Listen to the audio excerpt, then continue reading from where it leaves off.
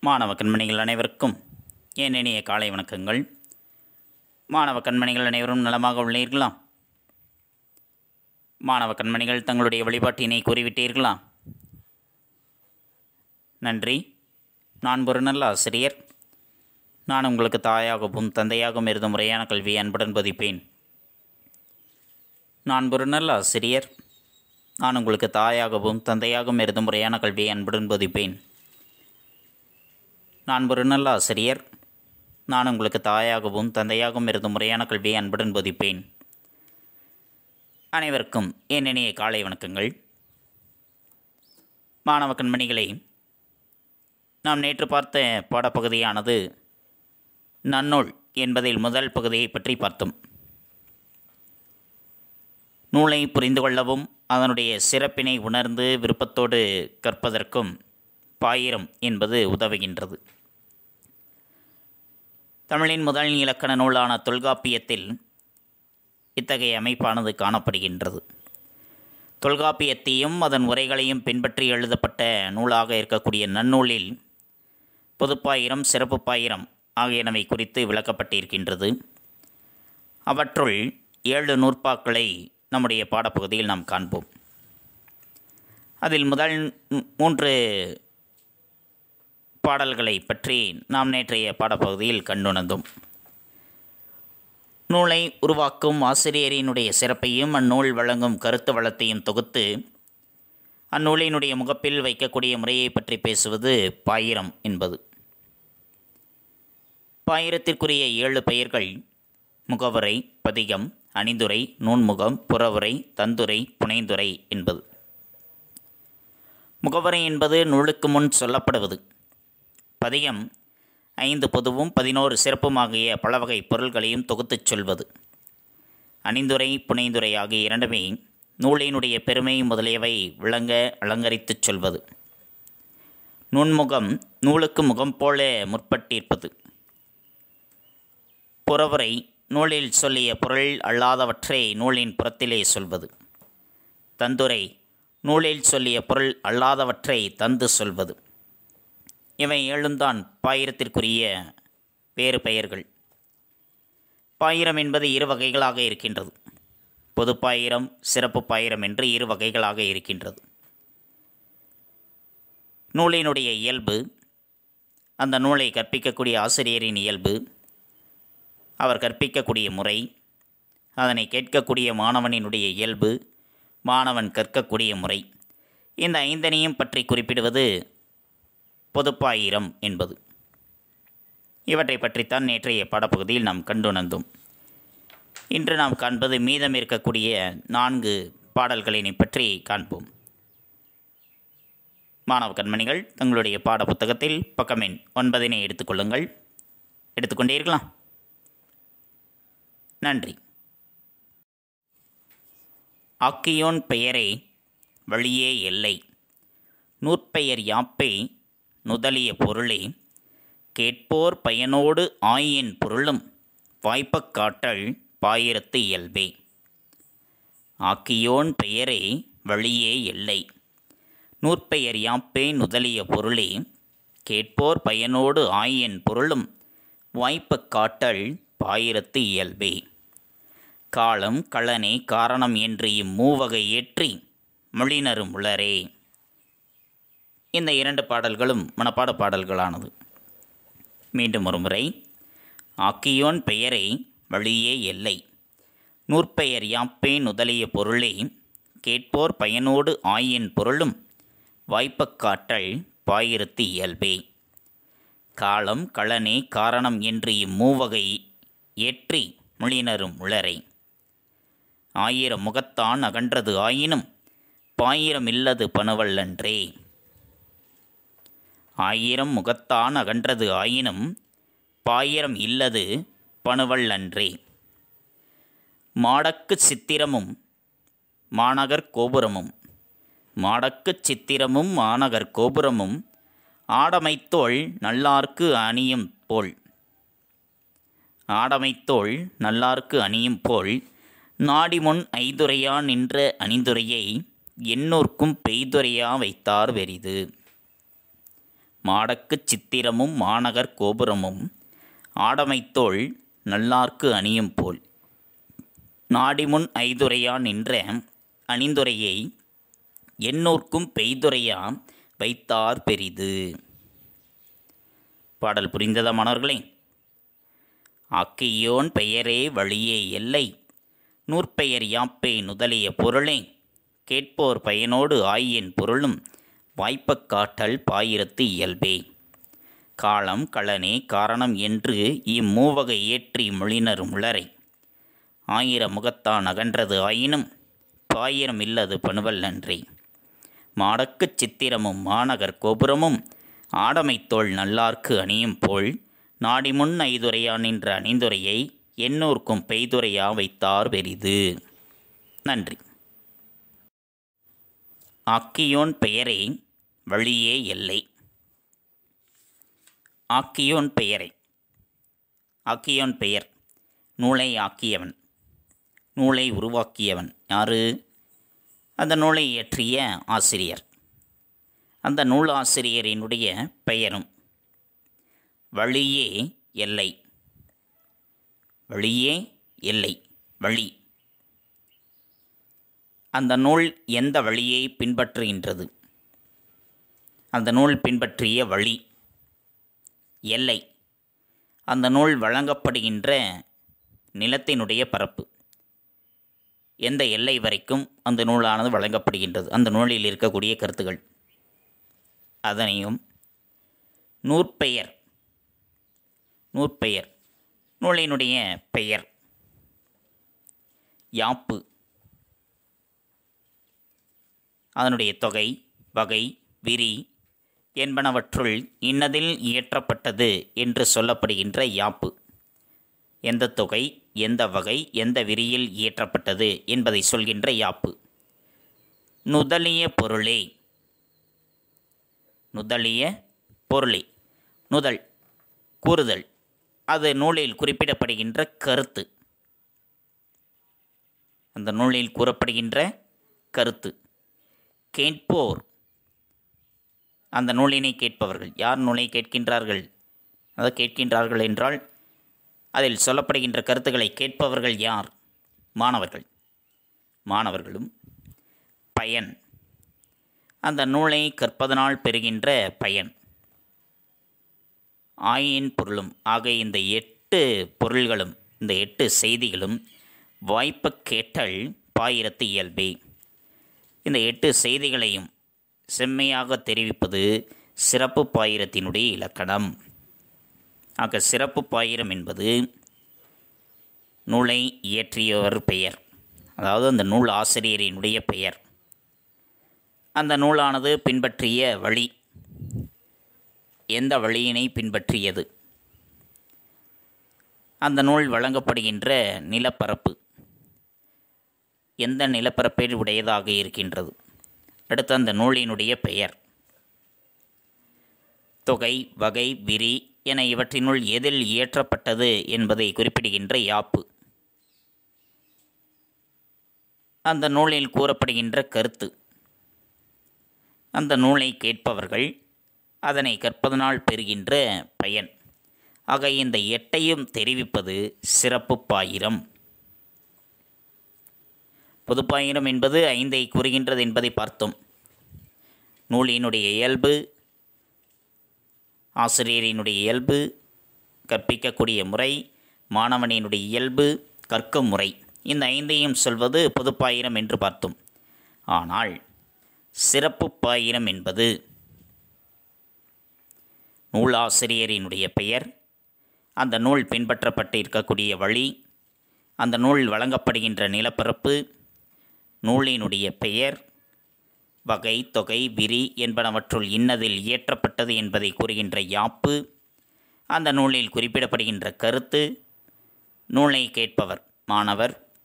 அந்த நூலை கற்பதனால் அவர் பெறுகின்ற பயன். ஆக இந்த எட்டனையும் கூறுவது சிறப்பு பாயிரம் என்பது. இதுதான் அந்த பாடலினுடைய பொருள். புரிந்ததா மாணவர்களே? ஆக்கியோன் பெயரை வழியே எல்லை நூற்பெயர் யாப்பே நுதலிய பொருளே. கேட்போர் பயனோடு ஆயையின் பொருளும் வாய்ப்பக்காட்டல் பாயிரத்து இயல்பே.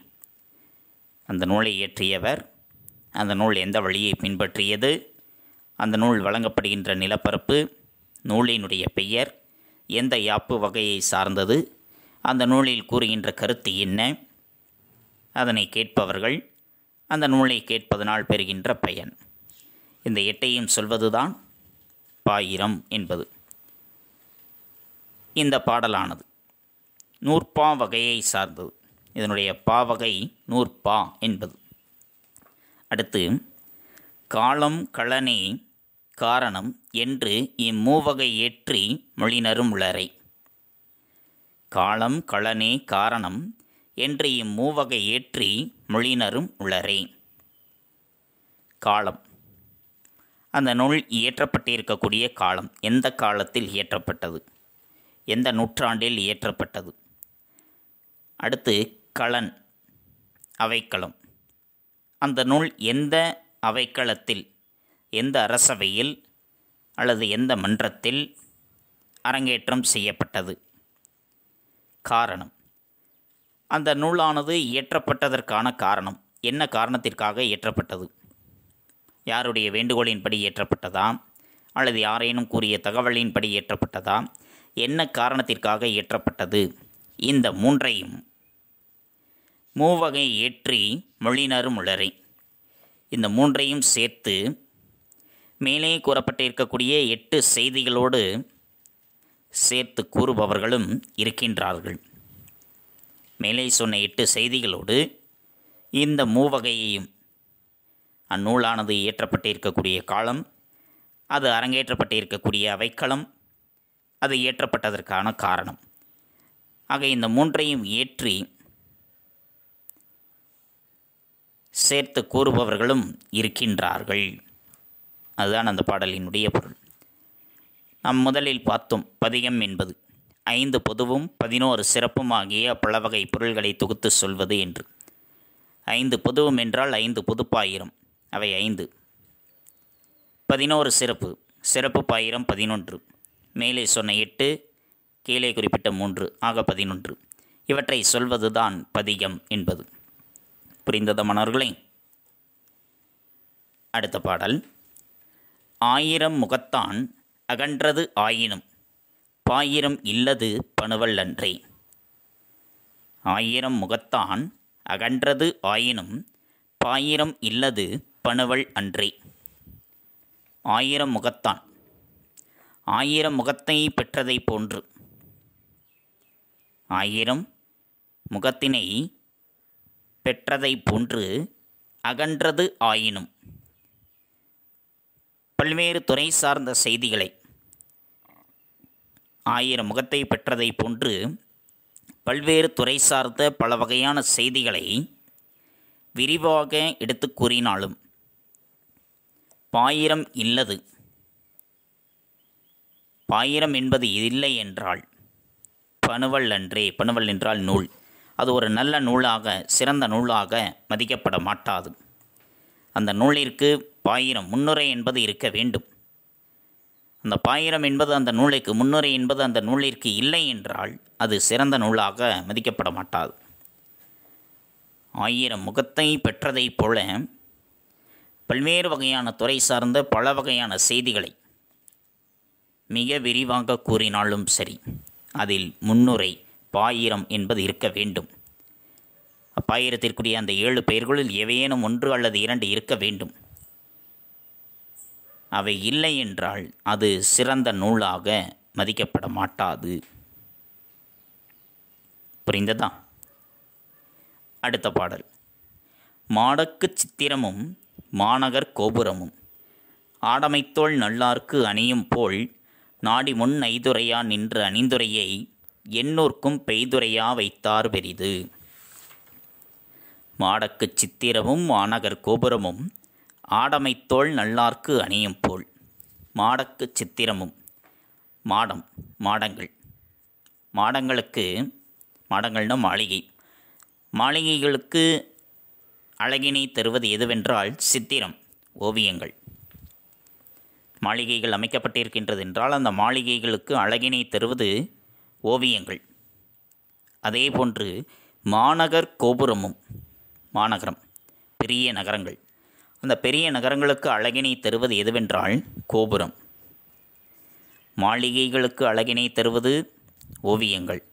அதேபோல் பெரிய நகரங்களுக்கு அழகினை தருவது அங்கே இருக்கக்கூடிய உயர்ந்த கோபுரங்கள். அதேபோன்று ஆடமைத்தோள் நல்லார்க்கு ஆடமைத்துள் மூங்கிலை போன்று. மூங்கிலை போன்று அழகிய தொல்களை கொண்டிருக்கக்கூடிய.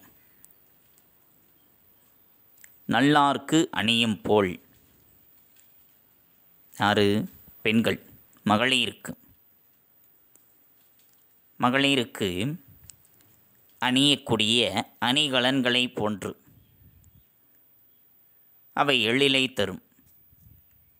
எப்படி மாடங்களுக்கு மாளிகைகளுக்கு ஓவியங்கள் அழகை தருகின்றனவோ? பெரிய நகரங்களுக்கு கோபுரங்கள் அழகை தருகின்றனவோ? அதனைப் போல மூங்கில் போன்ற அழகிய தோள்களை உடைய மகளிருக்கு அணிகலன்களானது அழகை தருகின்றன.